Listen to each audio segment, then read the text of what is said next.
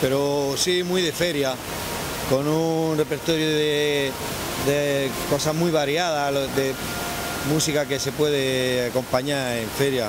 Hemos hecho bolero, hemos hecho pasodobles, hemos hecho obras un poquito más clásicas como los jardines de un monasterio en un mercado persa. Y ahora en la segunda parte pues vamos a seguir, pues bueno, también con temas, claro, por supuesto, de que se podían considerar de feria, haciendo temas de películas, como la banda sonora de la lista de Silver, Leyenda de Pasión e Independent Day. Y vamos a cerrar el concierto pues con el, el himno de Linares, claro, como no puede ser de otra forma.